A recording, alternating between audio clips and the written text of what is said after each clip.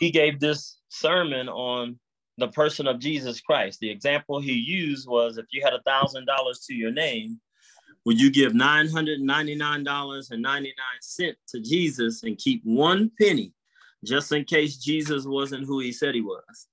If you kept that one penny, you would show that you did not have faith. So you got to give it all. You got to give it all to the person who gave it all for you so that you could have life and have it eternally. So at that point, I realized, man, I've been a good person for 23 years, but I am not a Christian. I am not a follower of Christ. I am not one of his disciples. I just been morally good. Mm. That didn't sit well with me. And I was not going to leave that church that day until I settled my eternal destiny. All right, ladies and gentlemen, welcome back to the Rooted in Christ podcast. My name is Eric Stevens, the founder of Redwood Christian Ministries. Thank you for tuning back in this week. It is a pleasure to have you all back and listening. Today, I am joined by a very special guest. We have on the show today former NFL player Wade Manning. Wade, how are you doing today, sir? I'm doing pretty good. It's kind of hot in in Denver right now. It's 98 degrees today. There you go. There you Usual go. September. what's the what's the humidity like right now? You got any? Oh man, two percent. Okay. okay. Okay. so before I get started, I need to let everybody know. So Wade used to play for the Dallas Cowboys and the Denver Broncos. So Wade, I got to tell you, like this podcast right now and having you on here is proof that that Jesus is real because everybody who knows me, and even if they don't know me, they're about to find out right now. I can't stand the Dallas Cowboys. Okay, I I'm not a fan. I I just I don't like anything about them, and I have to remind Dallas Cowboy fans that Deion Sanders was a long time ago, but I, I, I digress, but I just I thank you for being on the show today. Though. Thank you for being here. you you sound like Tom Landry to me. Oh wow! did not want the Dallas Cowboys to be labeled America's team.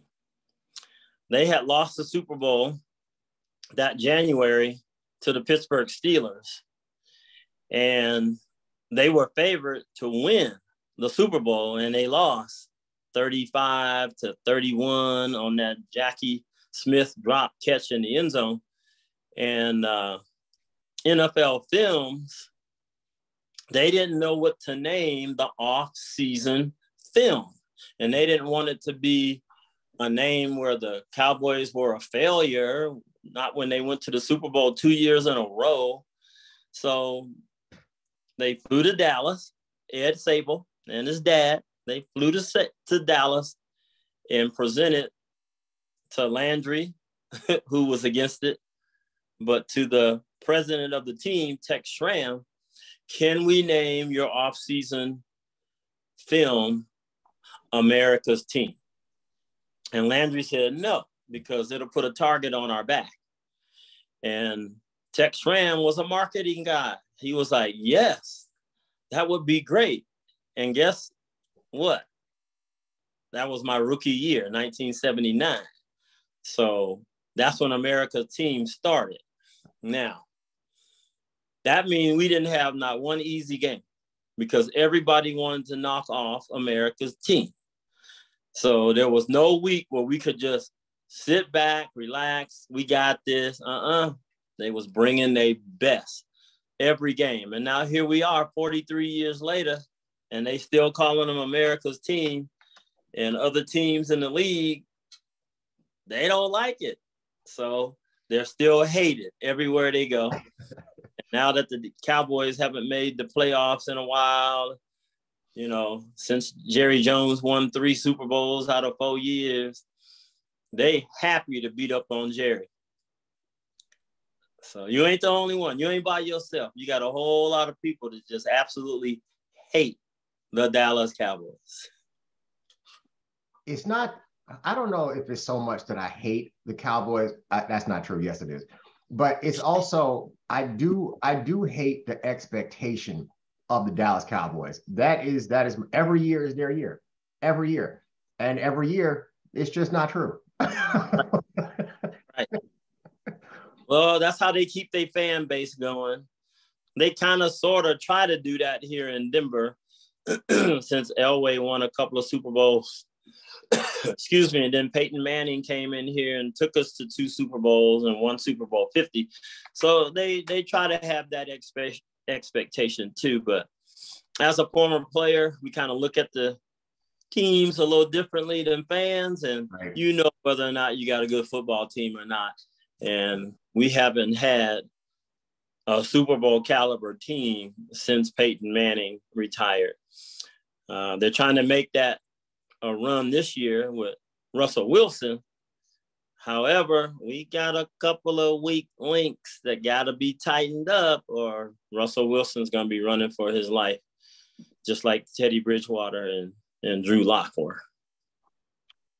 My my concern for that that Broncos team this year is actually their depth chart. Um, I think I think from a from a positional standpoint, their starters look strong, but a couple injuries and it's you know we don't know you don't know who's going to be in that lineup and what they're what they're really capable of doing. So that that's actually been my my concern going into the season for for Denver is is the depth of, of that team. Yeah, and injuries are an issue. You're gonna get hurt, right. and it's just if you can play with it. One hundred percent of the players that play in the league get hurt. Right. Matter whether you can play with it. I am going to take a quick pause just to say, in the event that Deion Sanders is listening, I still want you on the podcast, and I'm sorry for making fun of the Dallas Cowboys if it helps. He'll be all right.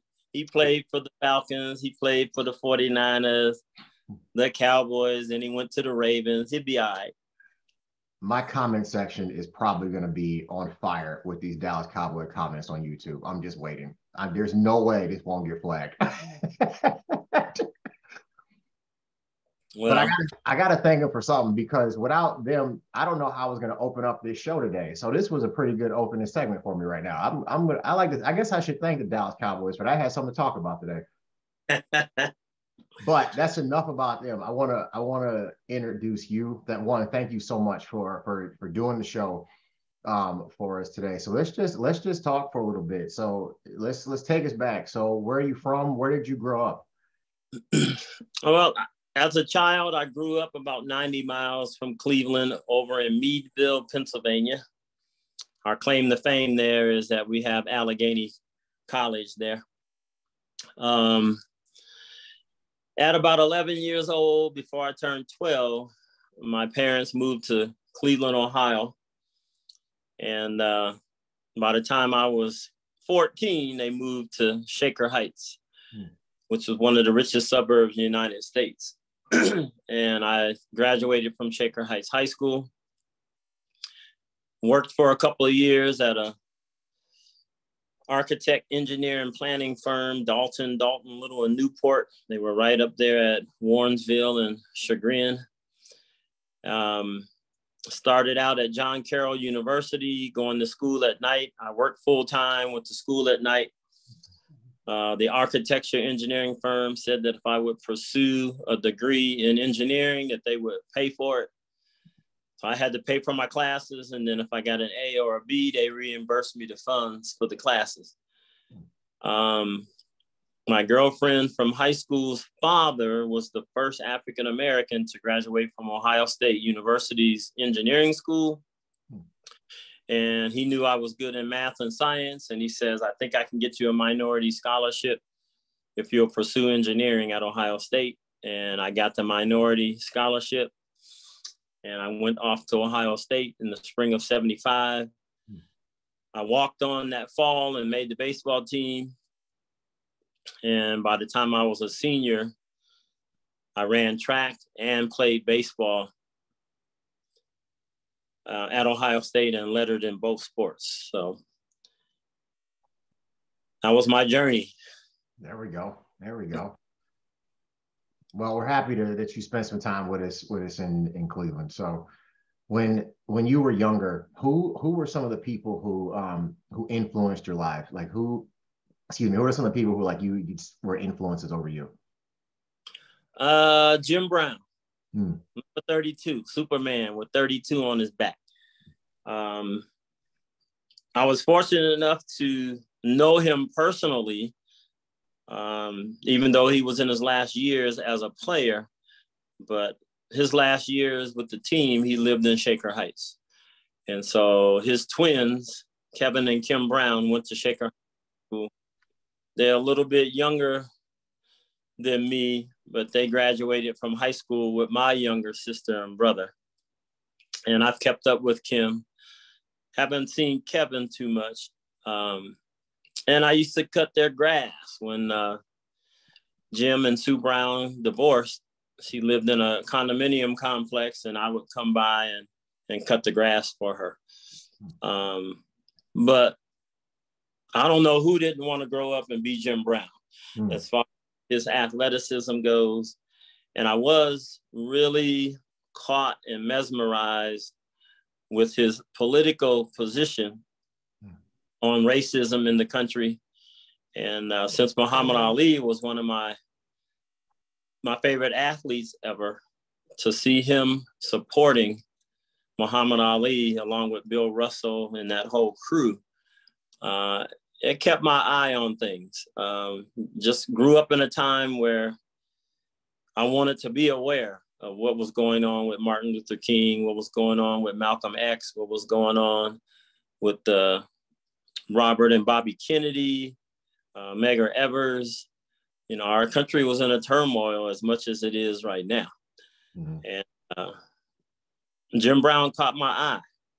And uh, it's, it's kind of strange that 50 something years later, my youngest child is now a student at Syracuse University, where Jim Brown and Floyd Little and Ernie Davis and Larry Csonka, John Mackey went to school.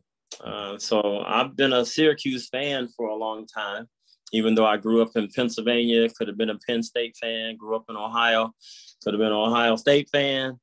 You know, Syracuse was always in the back of my mind. So I guess I was trying to bleed orange instead of bleed brown, but Jim Brown. Is there any advice that he gave you that that stuck out? Anything, any anything you're like, you know what, he told me this and to this day, I just it stuck with me. Yeah, we used to get our hair cut at the same barbershop. Mm-hmm. And I remember all these young kids sticking their nose up against the glass to try to see the great Jim Brown and I knew the person that owned the barbershop. So I was always allowed to go in. Mm. One thing that Jim Brown said to me was pay attention to detail, young man. Pay attention to detail. And that stuck with me, and that's who I've been all of my life when it comes to playing a sport. I wanted to be as skillful as anybody. School, I wanted to be as smart as anybody and get good grades, but be really detailed in what I was doing. Um, and if I do any kind of shade tree mechanic or work around my house, man, I try to do it so that nobody would think that I did it. I want them to that a professional did it. Right. So that was the advice that he gave me. Pay attention to detail. I would like to thank YouTube for the reason I can do any kind of work around my house because they have all those how-to videos for people like me who are complete inept at doing work around the house. You're gonna know I did it without YouTube, so I like to just take time to thank them so much, so much. So how how how often would you say you spoke to Jim Brown? How how much interaction do you think you had with him um, growing up? Well, from probably 1964 until he started making movies, The Dirty Dozen, mm-hmm. maybe every couple of weeks because we were always going to get our hair cut at around the same time. Right. And of course, had to get that same cut that he had mm-hmm. with all the hair off the sides and back and that little bit on the top. Right. Yeah. So every, every couple weeks, once he moved and started making movies, you know, he moved to California, became a Hollywood star. Mm. I didn't see him for a long time. And then he wrote his first book and he came to Denver to uh, publicize the book. And I went to a Safeway. And it was amazing that he knew exactly who I was. When I walked up to that table, wow. he said, Little Wade, man, come over here and sit down. Tell me how in the heck did you end up in the NFL? Because when I was a youngster, the, the whole time he ever knew me, I was never taller than five foot one, barely a hundred pounds. Hmm. So you can imagine this five foot one, barely a hundred pound kid running around talking about he want to be Jim Brown. Hmm. And when he saw me in Denver after my career was over, and I was six feet, 195, he was like, "Boy, you sure did grow up." And I said, "Yeah, I did. I do. I did all my growing late after high school, and I grew 11 inches in one year and gained 70 pounds, and I was a new person." Mr. Brown. I always called him Mr. Brown. And uh, he says, Wow, so how did you end up in the NFL when you didn't play football? And I just told him, Speed. I mm. had speed and I was almost 200 pounds, and the Dallas Cowboys took a chance on me. So that that was one of my that was gonna be one of my my questions was so how did you play sports in high school and college and how did you make make it to the NFL? Yeah, I played uh, basketball and baseball mostly. Um, I played football in the eighth grade and the ninth grade. I actually played for the junior Cleveland Browns when I was in the eighth grade.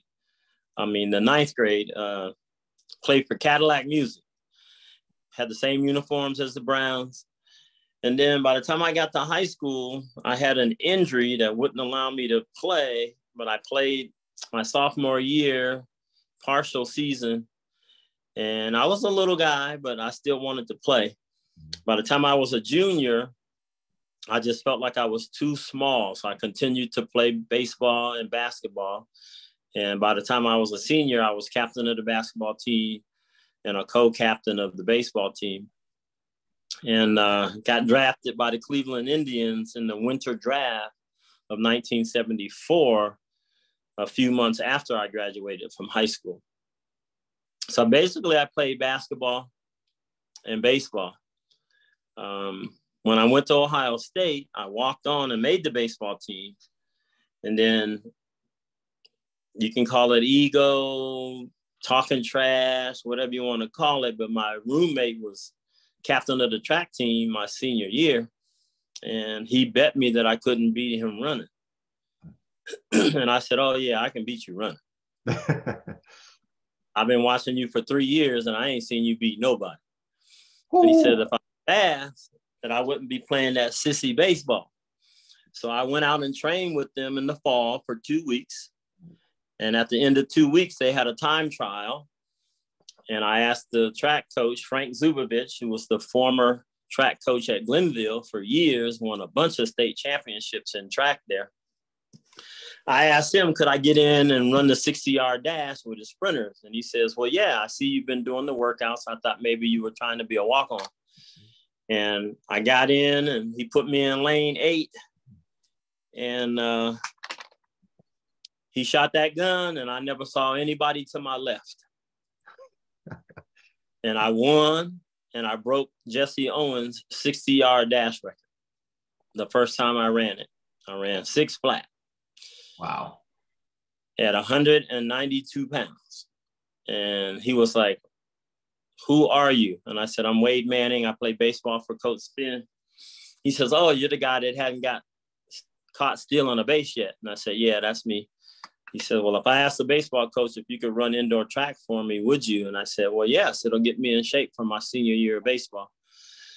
And so I ran indoor track. I got second at the at uh, the Big Ten championships to a guy that won four years in a row. And to this day, when I look at that AccuTrack picture, he didn't beat me. We leaned and they gave it to him, but I, my chest got there first. But he won it three years in a row. They gave it to him. But I beat him at nationals, though. There we go. At the lean. And uh, I was 196 pounds by that time. And that's when the Dallas Cowboys saw me running track at almost 200 pounds and running world class times. And they thought that I could I could make the transition to football because of my athleticism. I absolutely love my friends who trash talk me.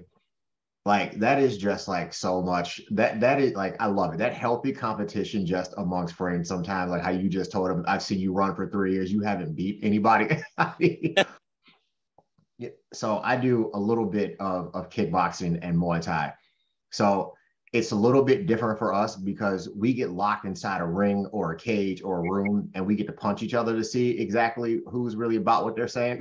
At least you guys just ran and nobody got hurt in this case. But it's always good to have those friends just bring the best out of you like that. That's that's always that competition in sports is something I love. Yeah, I mean, you know, you gotta you gotta protect your honor. so what was I'm just curious now, what was your 40 time? You might have said that already, but just in case. Well, it's it's a sore subject for not for me to talk about because look, man, I I'm a truthful individual. Mm-hmm. So let's just give you a little history behind it. So when I got invited to go to the NFL training day at Ohio State, because they didn't have pro days yet and they didn't have the Indianapolis combine.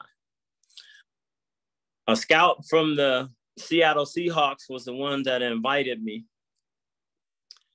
And uh, I had never run a 40 yard dash. For baseball, you run 60. Mm. Indoor track, I ran 60. Mm.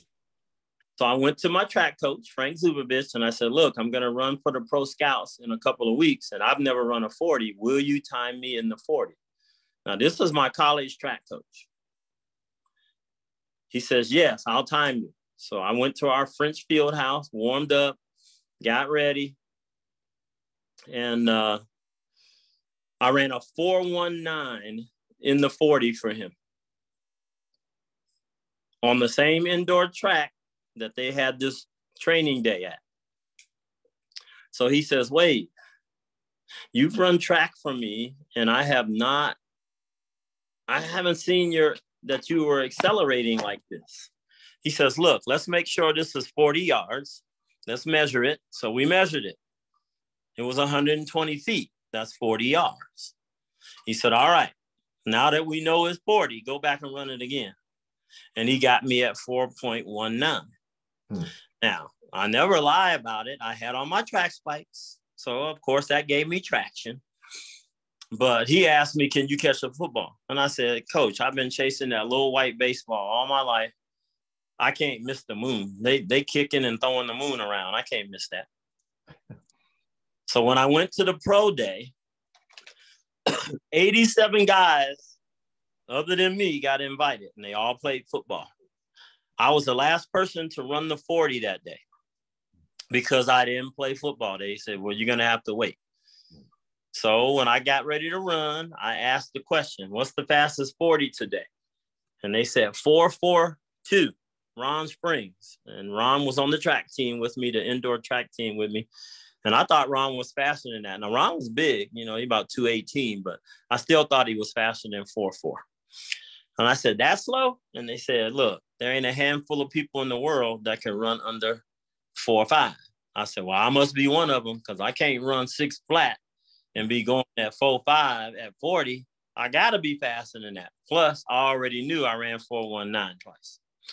So I had on some turf shoes that I borrowed from Ray Griffin, Archie Griffin's younger brother. Mm-hmm. So I ran my first 40 and I ran a four, two, three and it was a hush over the field house. You could hear crickets. Nobody wasn't saying nothing. I walked back down, raised my hand, told them I was ready, and I ran my second 40. I ran four, two, five. A scout came over to me and says, Look, we haven't ever seen a 40 run this fast. Will you run another one for us? I said, Yes. I walked back down. I let him know when I was ready. I ran four, two, seven. Another scout came over to me and asked me, Are you running as fast as you can? And I said, Yes. And he says, Well, it don't look like it. And I said, Yeah, I'm a track guy. It's kind of long and flowing and smooth. It's not herky jerky. And he says, Well, look, will you run another one for us? We're going to put watches at 20 and we're going to put watches at 40 because we can't really see your acceleration. and we're going to measure this to make sure it's 40 yards. And I asked him, I said, hey, 87 guys ran before me. How come it ain't 40 yards now? He says, You don't understand. We have never seen anything like this. You have run under 4 3 all three times. So we want to put clocks at 20 to see how fast you're going at 20. So I walked back down and I ran again and I ran 429. One of the previous scouts came back over to him and he says, Wait, the reason why he's running so fast, he got on track shoes. And I said, No, these are the waffle bottom turf shoe that they wear at Ohio Stadium. I borrowed them from Ray Griffin over there because I knew I couldn't run in my spikes. He said, Do you have any other shoes that you could wear? I said, Yes, I have a pair of high top Chuck Taylor Converse basketball shoes. You want me to run in them? And they said, Yes. So I put the Chucks on and walked back over and I ran 433 in some Chucks. That's the slowest 40 I ever ran was 433 in my life. I ran a 421 twice for the Broncos. I ran a 421 for the Browns. And at Dallas on the electronic timing on grass in football shoes, I ran a 4.33 on the electronic timing. And Dr. Bob Ward said that's 4.2 all day long.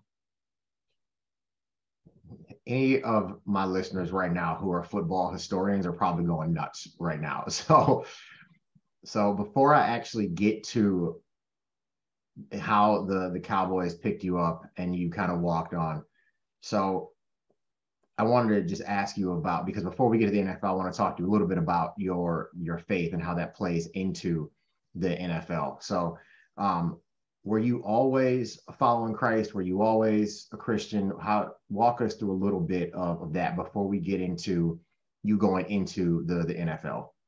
Right. Well, before I signed with the Cowboys and reported to Dallas in April of '79 I didn't realize that I wasn't a Christian. Mm. I realized then that I was a churchgoer. Oh, talk to him. And I went to church and I got my first Bible in 1964 because I went to every single Sunday school in the year of 1964. Mm. It's a King James red letter Bible. And they printed my name on the front of it in gold. I was a good kid, moral, didn't drink, didn't smoke, didn't swear, did everything my parents told me to do. I got a couple of B's in my life, the rest A's. Did everything coaches told me to do. So I was a good moral person. But at that time, I thought because my parents went to church and I went to church and my siblings went to church and classmates I went to school with went to church, I thought we were all Christians. Mm-hmm. I didn't know that you had to have a relationship with the Lord Jesus Christ in order to be a Christian. That's that you up your life to the person that gave his life so that you can in fact have life and have it eternally. So when I went to Dallas, I found out that God got jokes. He used football to get me to Dallas to hear Dr.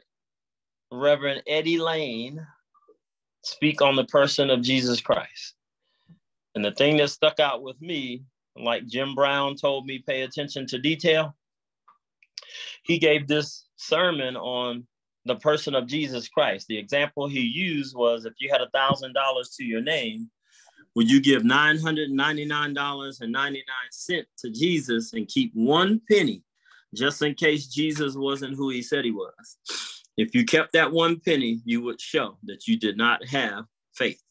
Hmm. So you got to give it all. You got to give it all to the person who gave it all for you so that you could have life and have it eternally.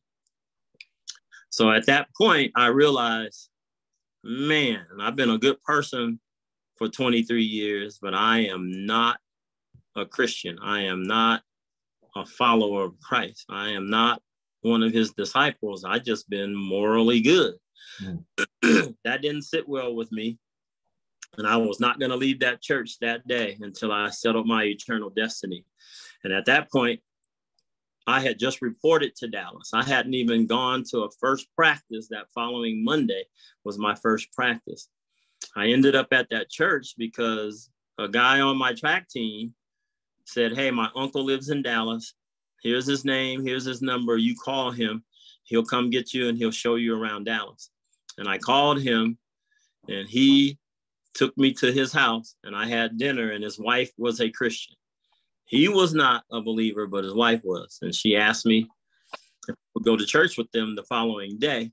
And I said yes, being polite. And I said, if I if I make this football team, I need a church home away from home. But when I went to church the next day, God had a whole nother plan for me. And I heard that message and I became a Christian that day. Praise God for that.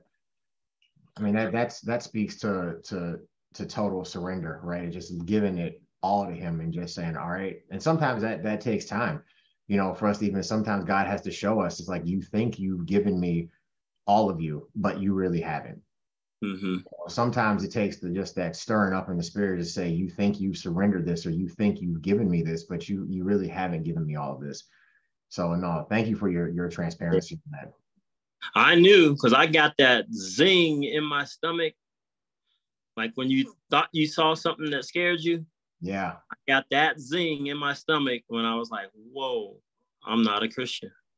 If I died today, I wouldn't be going to spend eternity with God.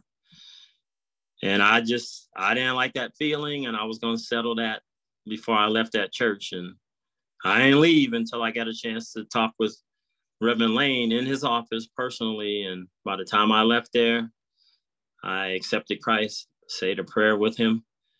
And when I came out to church to go home, back to North Dallas, you know, the sky didn't light up all crazy, bombs didn't go off, it wasn't like fireworks or nothing, but inside of me, and I mm-hmm. still have that same feeling to this day, everything changed.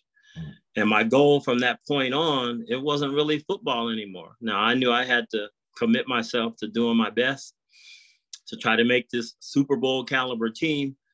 But my goal was to please God, and I was not going to let studying for football, doing workouts for football get in the way of my growth as a Christian. You know, I talk to people, especially when I'm discipling them from time to time, just about it. This isn't even about heaven or hell, right? This is about what you do with Jesus. Yeah. You know, heaven heaven can't be the point because we need a point person to get there. Therefore, it can't be the point. It's a byproduct, and it's definitely it's it's a. I don't want to dumb it down to a byproduct. It's it is definitely um, you know, our reward for for accepting Christ because we we know that obviously for the Christian this is the only hell that that we're going to see but it's what we do with Jesus that that matters. Right. You know, so um no, thank you for sharing it. I appreciate that. Yeah, thank you. So I'm we're starting we we've recently started uh, a new segment on on the show. It is called Behind the Curtain. So this is where I have one of my guests just take us behind the curtain so you know they can explain to the audience something that the audience may never get a chance to experience in their lifetime. So you're now a Dallas Cowboy. You are inside an NFL locker room. You know, a lot of us are never going to have that experience. So what what was it like just being a Christian and being, you know, in in an NFL locker room and in this environment? Like walk walk me through that.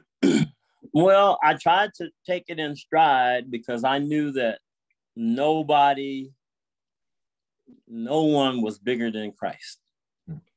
So I was happy to be in a locker room with all these stars and a few of them went on to be future Hall of Famers, Roger Staubach, Tony Dorsett, Rayfield Wright, Randy White, um, Cliff Harris. But at the same time, a lot of those guys were Christians too. So they were good Christian examples for me, especially Roger. I mean, if you want to grow up and have your child be like anyone, Roger Staubach, you can't go wrong because he is everything that he presented to be. And then, of course, we had a head coach that was not bashful about being a Christian. Uh, he he did a great job of of mixing his his faith with football, but he mostly he lived it, and you could see that he was Christian. You could see in his walk that he was a Christian. But being in the locker room and going out on the practice field was pretty amazing, and you knew that you were with some of the best athletes on planet Earth. Mm. I mean, when you saw Tony Dorsett get that ball handed to him or pitched to him, and you just saw how smooth he was and how easy he could make his cuts, you knew why he won the Heisman Trophy. When you saw Roger Staubach's tenacity for winning, he didn't believe if there was any time on the clock that he could lose. I played with another guy like that here, John Elway. If there was time on the clock, he didn't believe that he could lose. Somehow he could pull it off. But just the way the work ethic of those guys, mm-hmm. it, it mostly affected me and how I was going to live the rest of my life. Turning over every stone possible to make sure that you get the job done. And that's what I learned from those guys. The other side of the coin that could have been intimidating is uh, just the the pure strength and power that these guys had. Mm. Um, they were like almost superhuman, and that guys could be this strong, this big, and that fast. And today is a testament to it because, you know, the the the heaviest player we had, you know, Coach Landry had a weight limit, 265. So oh, wow. even Ed Too Tall Jones only weighed 265. When he came back from boxing, Landry let him play at 278. But Eddie could have probably played at 320, 325 and and move and been the same, but you know, he had a weight limit. The only team that had 300 pounders was the Steelers, and they was all steroided up. Probably why they all passed away, and not one of them alive to this day. but you also find out that they're human beings. No matter how high you put them up on a pedestal, they are just human beings and they're fallible. They just have great talent. So, being a Christian in that environment, it was pretty amazing because we had Christians on the team mm-hmm. and we had non Christians. And the non Christians, if they liked you and they liked me, they would not let you get in trouble. They would not let you do the crazy things that they were doing. And it's like, no, you ain't gonna do this. And you stay away from that woman and that woman and that woman. She ain't no good. She ain't no good. She ain't no good. And you will not do any drugs. You're gonna stay clean. So I was protected.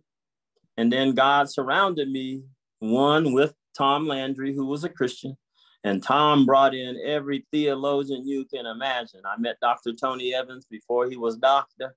He mm. did our Bible studies. Gary Smalley, John MacArthur, Josh McDowell. Um, Howard Hendricks was the president of Dallas Theological Seminary, and he did our Bible study. So God really put a hedge around me when I accepted Christ in my life. He was not going to let me stray too far to forget about the word. Isn't it crazy how like sometimes people will do something they'll tell you not to do it. They know it's bad. They know it's bad for them. They know it's hurting them and then they'll go do it anyway. Like It's like uh, I'm tell you not to do this because it's going to be detrimental for you to do it, but I'm still going to go do it as if it's not going to be detrimental for me too. right. Yeah, it's crazy, but that happened to me in high school too. Yeah.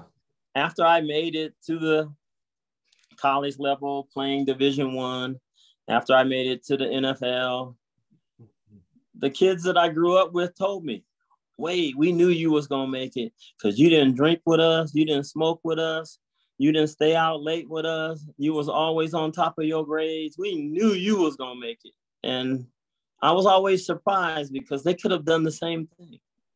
Right. I right. wasn't the best athlete in the community. These guys could play, but they didn't stay the course. So they didn't have the same opportunities. And I had an opportunity to take advantage of what came in front of me. This would probably, and I, think I'm gonna I'm gonna stick with the behind the curtain piece of this just for a little bit longer because I feel like this would be the hardest piece for me personally. As a player, how did you deal with the media? Because I feel like that's the part I would struggle with the most, where it's just like they ask you certain questions, they'll say certain things just to get under your skin. I feel like I want to tell something about themselves. So how did you deal? How did you handle or deal with the media? well, first of all, I watched. I watched a lot of interviews. I watched when they interviewed Roger Staubach. Mm. I watched when they interviewed Tony Dorsett. I watched when they interviewed Charlie Waters, Cliff Harris, um, Harvey Martin to see how they handle these questions. And I picked up real quick that they only answer exactly what they've been asked, and they don't add nothing to it. And they treat the press like the enemy. Hmm. Because I mean, I picked up from watching them, you can't trust these guys. As long as you're doing well, they in your corner. But as soon as you lose a game or blow an assignment, drop a ball, they're gonna be on you. So I learned right away. Just answer the question as as plain as possible and, and be done with it. So I know you said that you were, you know, attending church, but you weren't really, you know, you you know you knew you weren't a Christian. So obviously football games, especially then, they were on Sundays. You know, now we got Saturday, sometimes Sunday, Monday, Thursday. right. Were you able to attend church or have some form of church at all on on Sundays? How did that how what did that look like? Yeah, once again, God was good. I I was on a team that played the second game of the doubleheader. So we didn't play until three o'clock in the afternoon Central Time. So I had plenty of time to get up and go to that first service at nine o'clock. And it was close to the stadium, and I didn't have to be in the locker room until 12:30 for a three o'clock game. So I just went to church.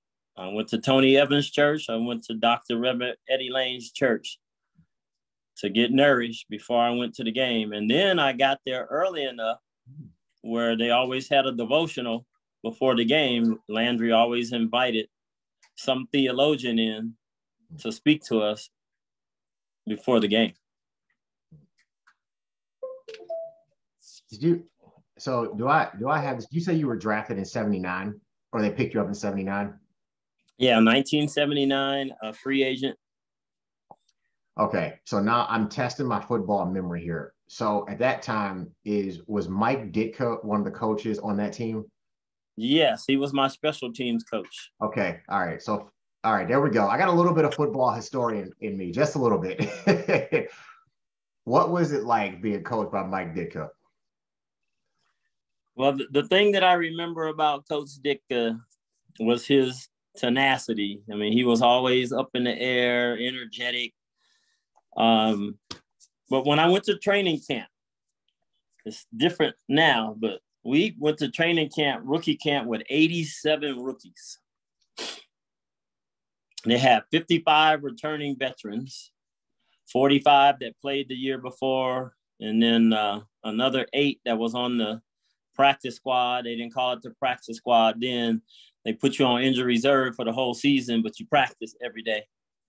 So we had 55 returning veterans and 87 rookies.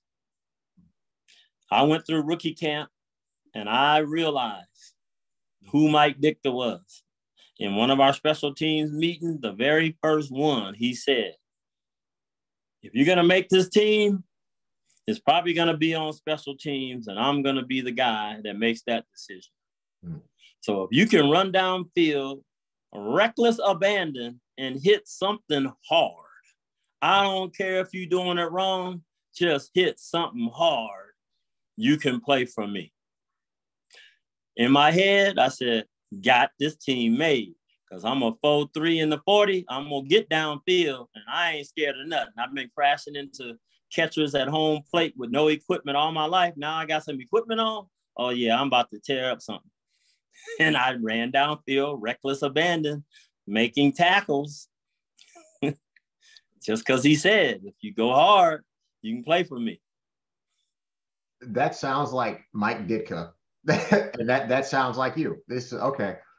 But that, that's actually that's actually a perfect segue to my next question because I asked and the reason I was able to get a hold of you was because of Vance Johnson. So I thank Vance for even putting us in in contact with each other. But I asked Vance this question. So because the NFL is a brutal game. I mean, it, it is not, especially the way they used to do special teams. I mean, you're talking about somebody's running you as fast as they can, as hard as they can to take your head off. So, yeah. what advice would you give to current players now to deal with the actual physical pain of the NFL? Because obviously, there's all kinds of drug, alcohol, there's all kinds of things out there. What advice would you give to a player today? Just try to just keep them on the straight and narrow to say this is an effective way of pain management. Yeah. Well, because of the amount of money that they make, they can do this. We couldn't do it. What I'm about to say, we couldn't do. Now I did it, but I found people that would do it for free. Look, they need to get a massage daily to keep the blood flow to all the tissue in their body so that it can heal. And they need to eat a well balanced diet. Now, I know that we all grew up eating the way we eat. We learned how to eat from grandma, grandpa, mom, dad, but you can't eat like that and play a 16, now it's a 17 game season. And that's before the playoffs start. Just as an example, real quick, I played 21 games my rookie year. We played five preseason games, 16 regular season games, and then we played a playoff game. So 22 games. That's a that's two seasons of college football in one season before you even get to the playoffs. So you have to take care of your body. And if you're not eating a well-balanced diet to bring in those vitamins and minerals so that your body can heal itself, then you're in trouble. Um, the drugs, you have to resist it because it just masks the pain. It does not heal you, it just masks the pain. And you don't want to get hooked on painkillers because they'll damage your internal organs. They'll damage your lungs, they'll damage your liver, they'll damage your spleen. Okay, they'll damage your kidneys. And next thing you know, you get to be 35, 40 years old, and they talking about kidney replacement, put you on dialysis. So you you got to stay away from those drugs. The human body can repair itself mm-hmm. if you will feed it what it needs and and get some rest. You know, I know that hey, when the weekend come, you know, we like to run them streets, get to that club, this, that, and the other. Well, however long your career is, you got to put that on hold. Mm-hmm. So if it's a 10-year career, for 10 years, you got to resist going out to the clubs, hanging in the streets, chasing and drinking, because it's only going to shorten your career, or you're going to end up playing hurt because your body won't heal. And uh, I think I said this before 100% of the people that play in the National Football League get hurt, even the kickers. Because every now and then, there's a breakaway run and they got to try to tackle somebody and they ain't used to tackling nobody and they get jacked. Even if they make the tackle, they get jacked because they ain't been hitting. So you got to be able to recover from these injuries and you got to do it with rest. You got to do it with nutrition and go to these chiropractors to get adjusted to keep your nervous system flowing to all parts of the body and go get a massage to keep that tissue um, full of blood so that that blood can bring the nutrients that you need to heal your body. And guys can do that now because they, you know, like I said earlier, minimum wage is 660,000 a year. So you can afford the chiropractor, you can afford the um, massage person, but you got to take care of your body. Six hundred and sixty thousand a year. I think I still have four years of college eligibility left. I might have to see what I got right now. I might just see what I got. Yeah, um, minimum wage was eighteen thousand five hundred dollars in nineteen seventy nine. A season, not a game. A season. It's unreal. So that actually that brings up an, another question that that I have then you know, I mean, you touched on this too. Bad company corrupts good character. We got to be careful who we surround ourselves with and what what those people are are telling us. If the spirit lives on the inside of us, we got to be careful what we're exposing the the Holy Spirit too, You know, so you got you got young. I would I would call them kids coming out potentially making at least six hundred sixty thousand dollars a year. What kind of yep. financial advice would you give to the to these young athletes coming in today? Save more money than you spend. You but they don't listen because they ain't gonna go broke like we did. And we didn't make no money, but they ain't gonna go broke. And that's not, not true because three or four years after your NFL career, guys are filing bankruptcy because they're broke. Wow. And they won't listen to us older guys. They know better than us. They think that we're all broke because we spent our money on foolish things and shoot, we didn't have enough money to spend. What I'm gonna spend twenty five thousand dollars on foolishly?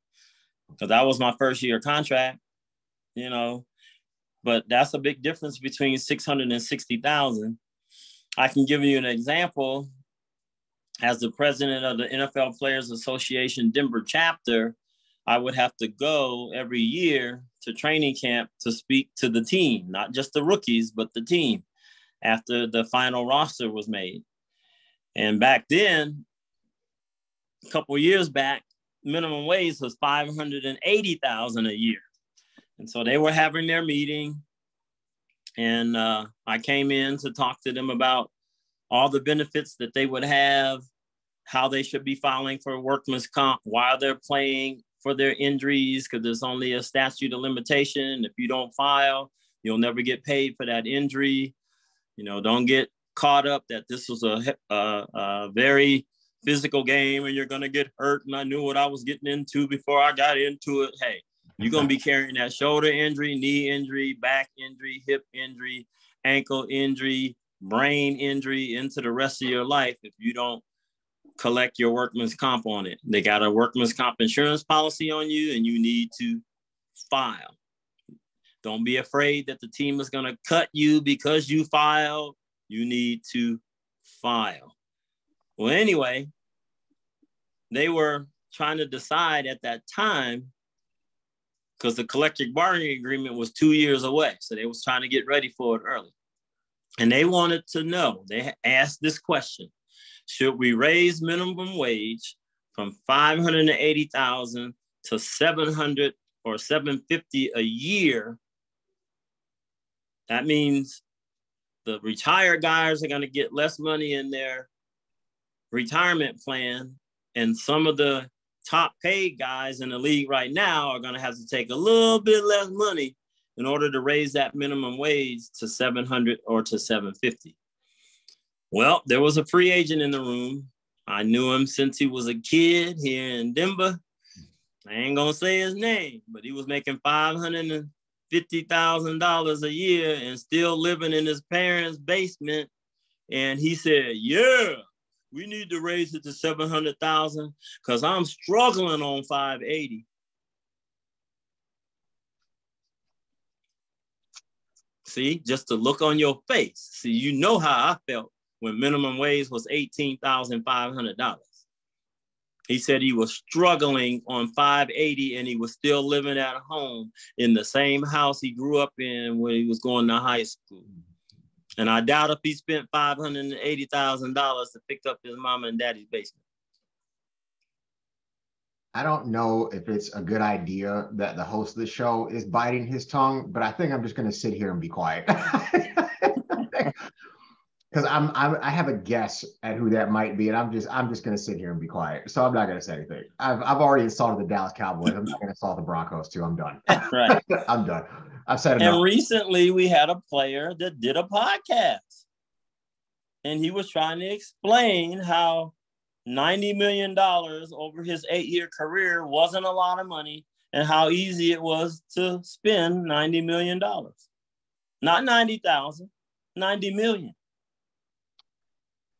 And he was justifying it. And I only got 30 million when I first signed. So this isn't like something we're going to have to edit. We have awkward silence right now because my heart is beating out of my chest. so I, I, Vance said something, something similar. And if I had $90 million right now, I'd be sitting next to you in Colorado. At my, I'd be there right now. oh boy. It's, you know, it, it comes down to again, this is why you need to have the right people in your life to have the right, you know, just to be yes. able to tell you, like, look, you know, you have this, and you may, I mean, what NFL running backs sometimes they, I mean, you're talking average five to six years, right? I mean, yeah. Frank Gore's probably Frank Gore's probably completely skewed that average right now. Yeah. But, well, the average life of any player is 3.24 years. Wow. And that's the guys that play 16, 17. Brady done knocked it out the box. It is still 3.24 years. The turnover is that much. And that's why they need people in their lives to say, all right, hey, this is now. Let's, I always tell people, younger me is taking care of older me in case I don't have the energy or the health to do the things I'm doing right now. So that's why I save and invest now. So older me can I, I try to always tell people like do something today that your future self is going to thank you for. So what can i do today that future me is going to thank me for? And that saving and investment is one of those things that i said okay i need to make sure that my younger self while i'm physically and mentally able to do it and you know you pray to god that's always the case it takes care of a future me. So yeah so I'm just gonna I'm gonna list these off because I, I don't want to mess this up. So Denver Broncos alumni president from 2001 to 2002. Yes. NFLPA Denver chapter 2014 to 2020. Yes. And then you've got the NFL Alumni Association Rocky Mountain chapter yes. 2021 of the present. Yes. What made you decide to get involved in that capacity and stay involved. And if you want to describe what your role is right now at the at the Rocky Mountain chapter, and just maybe describe your role a little bit at these organizations, what what motivated you to to get involved and do these? As a football fan, and you don't know what's going on behind the scenes, you you only get the final product on television on Thursday night Sunday night, Monday night, and then when the playoffs, they might play a Saturday game every now and then. And that's all you know as a fan. And so you think you know what's going on. Mm-hmm. But as a player, it's totally different. So having been a player, actually having been a fan and then a player, and then back to being a retired player and kind of semi fan because it's hard to be a fan after you play because you understand all the politics on the other side of it. Well, I just saw so many guys that were not prepared for the game to be over. People don't know this. There is no medical plan, dental plan, insurance plan for retired players. They do have an insurance policy that they keep on you until age 55. But after age 55, that policy drops. So if you should pass away, if you didn't pick up that policy yourself, your surviving family would have to bury you. Uh, some guys haven't been to the doctor since their last physical with the team that they played because they don't have enough money to be able to afford insurance. For instance, all my years of teaching after I was done, I paid a minimum of $800 a month for the family plan for insurance. Well, when you played in a league and you only made a few thousand dollars a year, you don't have, you can't afford $800 a month just on health insurance. So guys take chances. They just hope that they're healthy. They believe I'm good, I'm good, I'm good. And you don't know whether you have high blood pressure unless you go get it checked.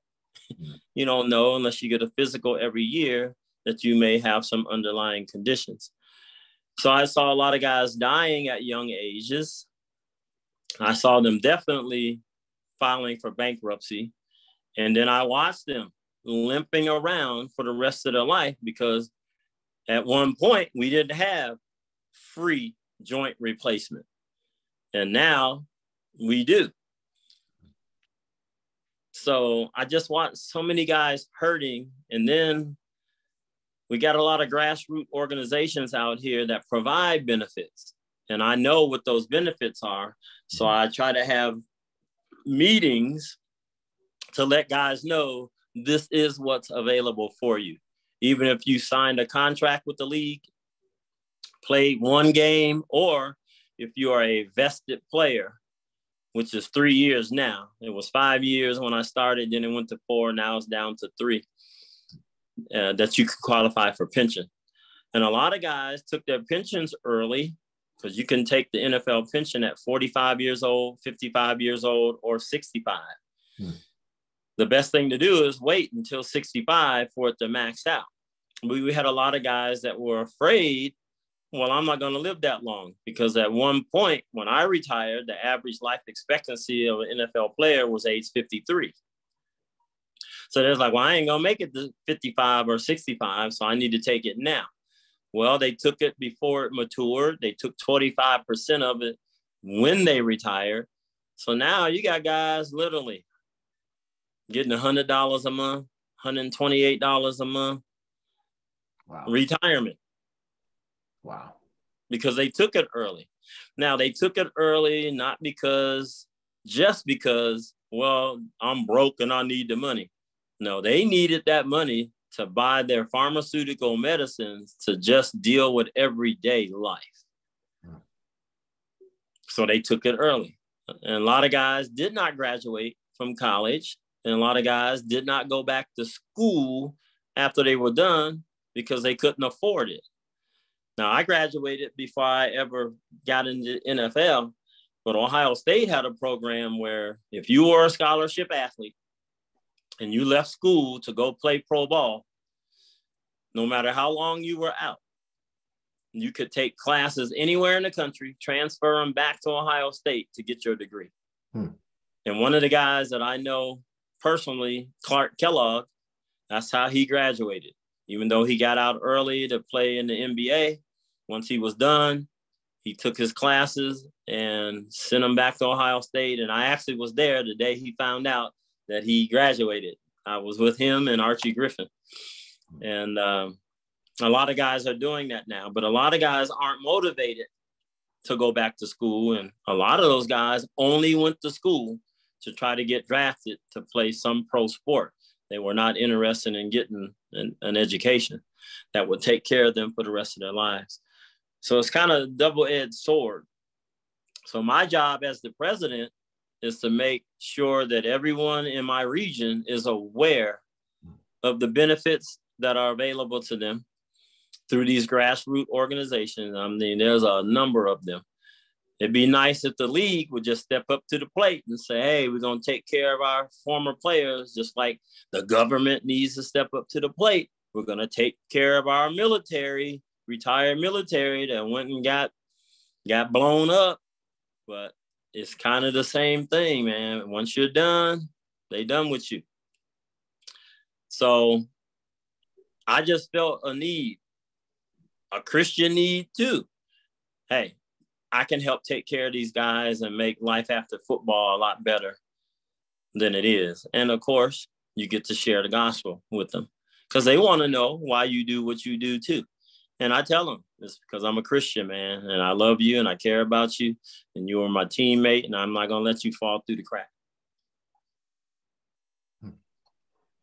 So you always you answered one of the questions that I ask every guest is why do you do what you do? So I'm gonna I'm gonna pivot from from there. And would you say that being a part of these organizations that that is just one of the ways that you're that one of the ways you're sharing your faith using your testimony like do you do you look at that as a ministry being a part of those those organizations yeah i look at it that way because i know that if god didn't place me in that position to be an nfl player mm-hmm. i wouldn't have that platform to even operate from because it's a very closed door system you can't just walk up in there and and have relationships with players, especially now because they make way too much money and they don't know who the alligators are that's just trying to get money out of. But being a president of an organization, being a member of those organizations, there's a level of trust where guys will seek you out and they will listen to what you have to say. And then if they see that you have been successful outside of football, then they have a, a, a better spirit to listening to you. Because a lot of guys have told me, hey, man, I know I made way more money than you. And I can't believe that you have the houses that you have, the cars that you have, the clothes that you wear, the, the things that you do. And I tell them, hey, man, Jesus is good. He took care of me. I saved all my bonus money. I saved all my playoff money, incentives, severance pay. I mean, I didn't even buy a house until I was done because there were no guaranteed contracts then.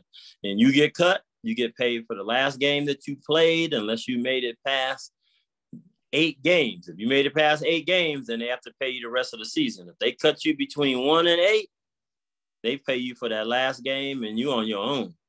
And I didn't want to get cut because I missed the pass, missed an assignment, missed a tackle, dropped the ball, and you out on the street. How you gonna pay your house note? How you gonna pay your car note? I bought used cars and paid cash for them. Okay, because if I got cut, they wasn't coming and taking nothing back. And I had a one bedroom efficiency apartment. Ain't that a shame? And I was an NFL player.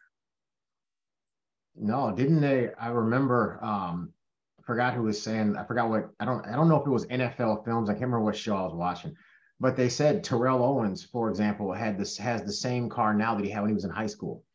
Mm-hmm. Same car, you know. So I mean, I think I think there's a lot of wisdom in okay, do I really need this watch or this 32 bedroom mansion? I mean, you know, I do um I do major gift fundraising for a living. So I meet with alumni of the university that I work at, and I ask them to give back a million dollars to five million dollars to university whether it be for new buildings, for scholarships, all kinds of things. So I meet with I meet with some pretty wealthy people on a on a consistent basis. And some of them say very similar things to what what you said. He's like, how much do we really need this mansion and then to have these three houses? And then there's others who have the mansions and then have the houses all over and have a garage full of cars, you know. So yeah. um no, I, I hear you. I think there's a lot of wisdom in that. Um, I think if you can't if you can't manage eighteen thousand dollars, you're not going to be able to manage six hundred and sixty thousand dollars. Right. Or five hundred and three million. Right. I was I was I was blocking that out of my head. I did the math or I blocked that out of my head. Deshaun Watson, 230 million guaranteed. I'm not even. I'm, I'm not even going to touch that because I'm trying not to get canceled in whatever episode week this is. I'm just going to let the lawyers and the legal people deal with that. I'm not even mentioning. I'm letting that go. I'm not messing with that. Uh, God has been good, right? And I don't mean that trivially, because I'm telling you, this is my 43rd year as of April. My 43rd year being a Christian mm. a follower of Christ, not I believe in God. Anybody can say they believe in God. That's real. How you live in your life will demonstrate whether you are serving God or believing in God. So I had a chance to share that with Vance Johnson, you know, 37 years after I was done with football. He wanted to know, wait, why did you we were competing against each other at wide receiver, and here you were showing me how to run routes, how to read defenses. I said, man, because I'm a Christian and I love you, and if I was gonna make the team, I got to make the team because I'm better than you, not because you didn't know what to do. Mm-hmm. I said, your journey wasn't much different than mine, other than he played college football, Mhm. but he was a running back and he had never played wide receiver. So let me show you how to do this, Vance. Right. That was the Christianity in me. And I I believe I would have done it even if I wasn't a Christian because I'm just a nice guy. Right. And I want to make any football team because somebody else didn't know what to do because the system was so hard to learn. So you help, and they're gonna be your teammate too. You don't need them messing up when the games count. I'm grateful selfishly that you two helped each other because I've had more podcast guests because of it. So I appreciated what you did in the 70s and 80s. Um, good looking out. that actually, you know, and you you touched on something else. I talk to people about that a lot too. Loving God is one thing. What are you doing with his son? Because the only way to the father is through the son. You know, Right. so, well, I, I hear a lot of people tell me that they they love God and they believe in God. I'm like, yeah, what are you doing with his son? So you you you touched on something really good there. Yeah. So that actually, I got another football question for you based on what you just said about Vance. Um, how did you play the game then? Because I know a lot of these guys they play super amped up and they play really really angry, and it's like they get out there ready to rip somebody's head off. Um, Right. And it's funny because I know I know a few professional fighters in, in the UFC, and I've asked them the same question. I've said, you know, how do you hate the guy or or or woman standing across from you in the cage? Some of them say yes, and it's it's frightening, and I'm and the other is like, no, this is my job. I Right. have no desire to get out there and hurt that person. You know, they have a husband or they have wife, they have kids, you know, whatever the case may be. How did how did you go into every game? Yeah, I um reflected on these feelings after what came out a number of years ago when Dr. Omalu, who I invited to come to Denver to talk to our former players, did the movie Concussion. Hmm. And I used to ask the question, but nobody could answer me from 1979 until about, you know, 2018 do you guys why are you so angry? Why do you have to what's wrong with you that you're blowing snot bubbles and breathing all crazy hard? You know that's is this the way you have to play? Oh man you got to get hyped up for this game well i think his brain injury myself. Mm. If guys have been playing since little league junior high high school college and now they're in the pros well i think they they bang their brain around a little bit too much and they got anger issues. I looked at it as an art. I can get downfield faster than you. You can't block me because you standing still and I'm running full speed. So I'm gonna juke you, throw a move, go around. And yes, I'm gonna hit the ball carrier hard to let him know, yeah, I'm coming. It's gonna be like that on every play. But I never once hit a guy thinking I'm going to break his leg. I'm going to break his neck. I'm going to decapitate him. No, I was going to hit him hard, take him to the ground, and let him know all day, bruh, all day. Four two, be down here all day. Um, you know, playing receiver. Hey, I just wanted to just smooth past you, catch that rock, throw a move, gain as many yards as I could. And when you came to try to tackle me, I wasn't going to just let you tackle me. I was going to Jim Brown you. That's one thing I learned from Jim Brown to throw that forearm, or throw that stiff arm. Like Walter Payton, he punch you. He wait till you get right there and then pow, he lights you up. Because you can't take hits. You can't wince and just fold up and let them hit you because you'll be a rag doll. They'll break you. Um, when I played defensive back at Dallas, I just didn't want to get beat. I didn't want to get beat deep because everybody in the world saw that you got beat deep. And I didn't want to miss no tackles because you only get one shot. You miss that tackle, you give up big yards after that. So my job was to take you down. And because I was a wrestler all my life, I felt confident in being able to take you down because I used to have to take sweaty people down. And now I got material to grab. I'm not going to miss this tackle. So my job was to get you on the ground. My job was not to hurt you. Hmm. So I just played the game like an artist. I tell people in especially when when we're when we're sparring and we're kickboxing, I'm like, I don't want to get hit. Okay, like I, I'm going to avoid that at all costs. So, but I also let them know that once you hit me, I'm going to hit you back in the friendliest, yeah. most loving way possible. so, no, I think I think this really I think this speaks to just the, you know, I think that's a good um, outlook that you had in the game of this is just this is work, this is this is competition, and I'm not out here to to hurt or or end anyone's career. You know, we're just out here to to compete and then make sure we go home the same way we walked in here. So what is um what is life like for you for you now? What are you doing these days? Well, I'm retired. I do a lot of traveling. I um, have a vacation home where I can go and get away. Uh, I just recently sold the one in the mountains and I'm buying one in Orlando, Florida right now. So I'm going from the snow to the to the heat. Um, I'm jealous.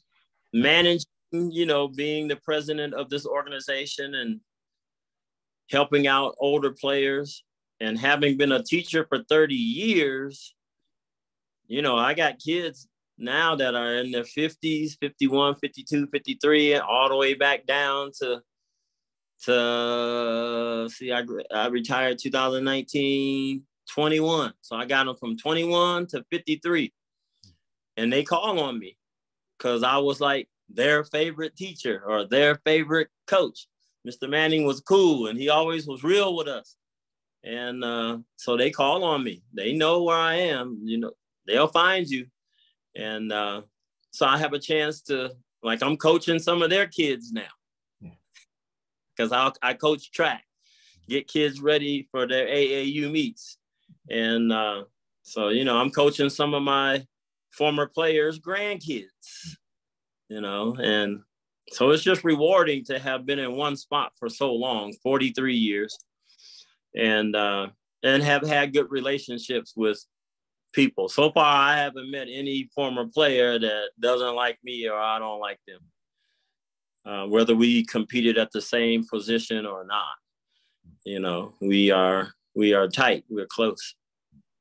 So, just helping people. I think I'll help people all the way till I get up out of here, and you know, doing Bible studies. There you go. You know, and uh, I do my own personal Bible study with Dr. Tony Evans every day, and just recently, his son Anthony who played for the Cowboys for a minute. He just took over that. He's doing a a, a little series on there right now, so it's kind of weird not hearing Tony's voice, but hearing Anthony's voice. And Anthony, if he's listening or if I get to talk to him, man, he sounds just like his mom, Lois. Oh wow. He sound you can hear her voice in his voice. I um I know I know we're getting we're getting close on on time here, but I do want to I do want to touch on that. So where do you because whenever I talk to someone or I get ready to meet someone, I want to I want to find a way to talk about my faith or share my faith with them or share the gospel message with them, share Jesus with them in some capacity. So I know that you're you're you know you were in the school system. So how have you been able to find ways to to do that to just really kind of talk to people about Christ? Yeah, while I was teaching, you know, there was this unwritten rule that you don't mix church and state. And there's nowhere written in the Constitution, school policy, district policy, or state law that you don't mix church and state. But that's the myth. And you try not to violate because you don't want to be in trouble with your principal or the superintendent of the district. But there's a big, huge loophole, and I don't know if they are aware of the loophole. And they'll tell you, as long as a student is willing to talk to you about religion, you can talk about it. It's just that you can't bring it up and you can't force your belief system on them. So I literally try to love kids to Christ, meaning this when they see how I handle myself, who I am as a person in the classroom, in the hallways, on the practice field, game day, and they ask me, Mr. Manning, why are you the way you are? Why are you so nice? And I tell them, I'm a Christian. Hmm. And they go, What? Yeah, I'm a Christian. That's why I'm so nice. Now I could be nice in and of myself, but at some point, without Christ in my life, I'm gonna go bad. Growing up in Cleveland too, yeah, I'm gonna go bad. I'm, I'm gonna go ghetto on you. You don't want me to ghetto on you. You want me to be a Christian. Um, but the other ones is kids misuse the word of God in vain mm-hmm. by something, whatever it is. Could be something minor or major. Something go wrong. Oh my God. And I go, I'm in. Do you know him? Huh? you just, oh my God. So I figured you had a relationship with them and you're trying to call on them right now to help you out in this situation. And that's how they open that door. Jesus, criminy. Oh, so you know Jesus. Dang, I'm a Christian too. And then we start talking. So I just, they crack that door. I put my foot in it. There you go. And if they go running talking about, you can't talk to me about religion, I said, hey, you was the one that brought up Jesus. You was the one that brought up God. You was the one that asked me why I am the way I am. So I just told you. So we can go down to the principal. We can talk about it. They never did though. so God gave me a platform even there. And most of it was because of my behavior and how I carried myself. That actually sparked students to ask me, why are you the way you are? And mm-hmm. even to this day, I just met up with some of my students that are 39 and 40 now. And they said, Mr. Manning, we always knew that you cared about us, not just as athletes or students. You genuinely cared about us. And that's why we are still close to you to this day. And that's why we invite you to our home, want you to meet our kids. And we tell our kids about you all the time. And this is my coach. Hmm. And this is the effect that he had on me. And these are white kids too. Hmm. Okay, so it ain't just the black kids, mm-hmm. you know. And I have quite a few black kids whose parents is like, hey, if it wasn't for you, they hmm. would have never walked the straight and narrow. And I told them the same thing you told them, but they ain't listen to me, and they somehow listen to you. I said, well, sometimes they got to come from somebody else, and because you did say it to them, the seed was already planted for that thing to grow, right. and they heard someone else who, in their mind, had been successful, an NFL player, a Division One player, a college graduate, and so you planted the seed, and God watered that seed, and now we got different growth going on. I got a few questions left, but selfishly, this question is only for me. being a Denver Broncos fan along the Cleveland Browns fan in Ohio is obviously dangerous. Okay, I'm lucky to be alive right now. But John Elway is one of my favorite athletes. So every Denver Broncos player I have ever talked to who played with John Elway has a broken finger John Elway story. every last one of them. Every every they'll hold up their hands and their hands will look like it went through a meat grinder or a garbage disposal because this man apparently throws a football the equivalent of a bullet being shot out of a gun. Like it's crazy how hard people say he throws a football. Yeah. You gotta have i might guess you gotta have one. You ha- well the first ball he ever threw to me was a 12 yard out. We called it a square out you break at 10, roll it to 12, and run to the sideline. It looked like he shot an arrow at me. you better catch it, because if it hits you, you could die. I reached up to catch this out. And I didn't have no gloves on, and we didn't have stickum. They had outlaw stickum by then thanks to Lester Hayes putting it all over him like pigpen. and the ball hit between my index, my middle finger, and my ring finger. And it just split the skin in my hand, and blood just fizzed in the air. I caught the ball. There you go. but, but I had to get stitches. And from that point on, I wore golf gloves, a half a size small, pulled them on as tight as I could, like skin, and then taped the wrist part real tight so that the leather wouldn't move.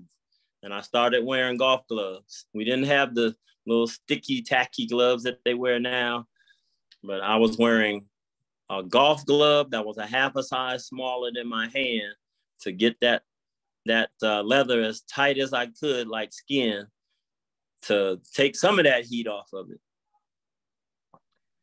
So to anyone listening, I'm not crazy.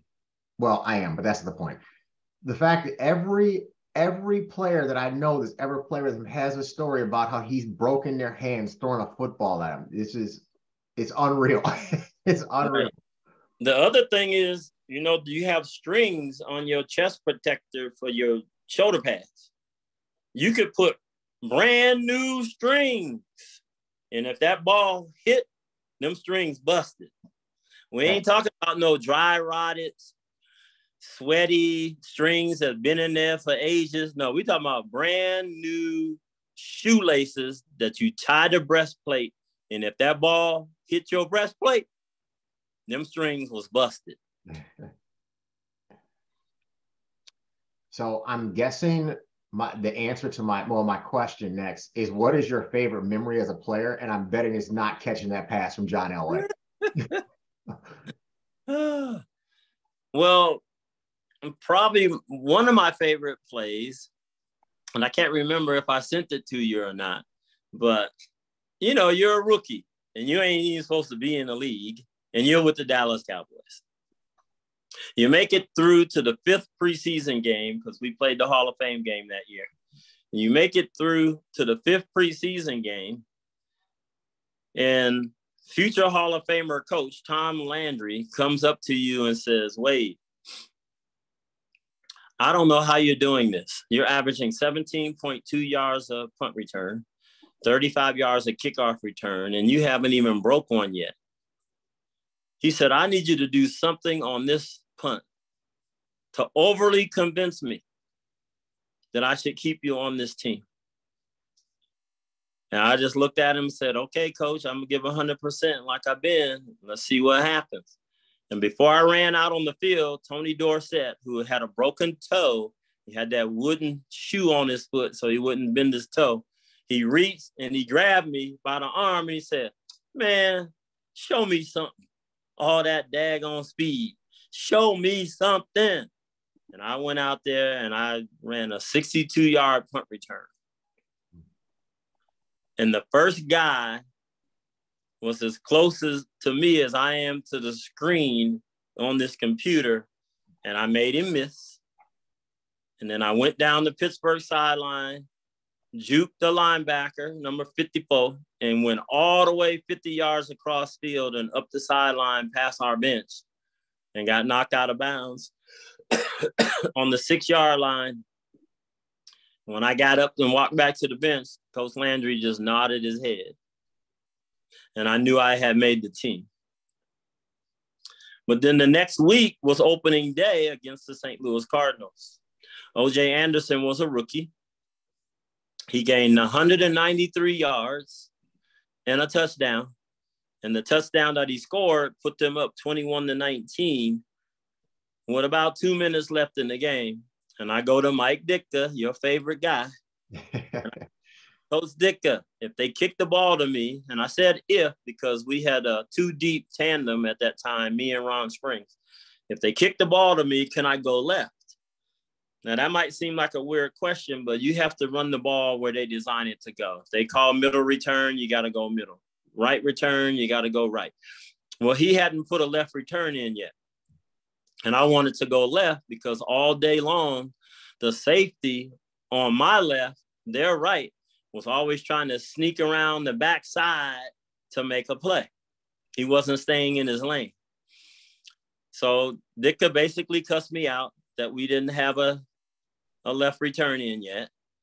And in so many choice words, it better work. So they kicked me the ball. I started middle, took one hard jab step to the right, and that guy came around and I broke left. And I got around him and went down our sideline for 40 plus yards, 47 yards, I believe, got knocked out on the sideline. And Landry sent the field goal team on the field and kicked the field goal. And we won that game 22 to 21. Hmm. I made special teams player of the week. I made the front of the Dallas Cowboy Weekly. And Landry came to my locker in the locker room and said, How are you doing this? And I gave him a classic answer just running scared, coach. Just running scared. Don't want to get hit. That's a good response. that brings me to my final question, which is the final segment of this show.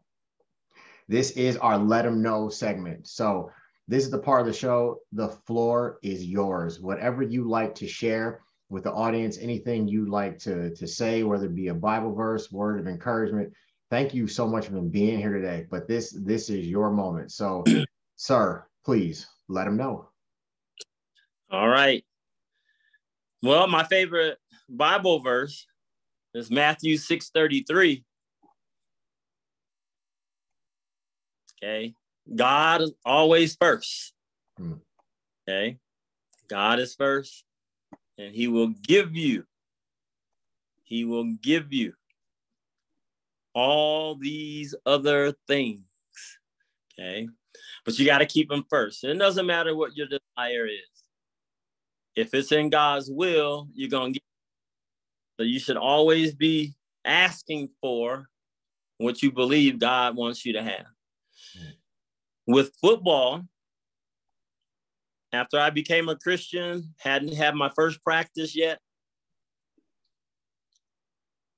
my whole goal was to please God. And my whole belief was if he wants me to be a Dallas Cowboys, Tom Landry can't stop it.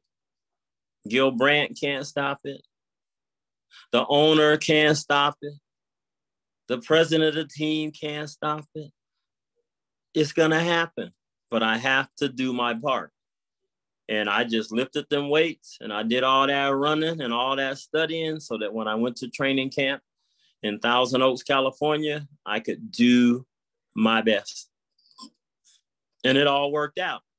And I made the team. And I remember Robert Newhouse saying to me during training camp, come over here, young man, sit down here and have lunch with me. And I sat down at a table with a veteran player and had lunch with him. And he said, Man, you act like you're going to make this team. And I said, Well, I believe that I can. He said, No, no, no, no. The way you move, carry yourself, everything. It's like, you're going to make this team. And I looked at Robert and I said, Robert, if God wants me to make this team, can't nobody stop it. And my job is to come out here every single day, every practice, and give 100%. And that's what I'm going to do.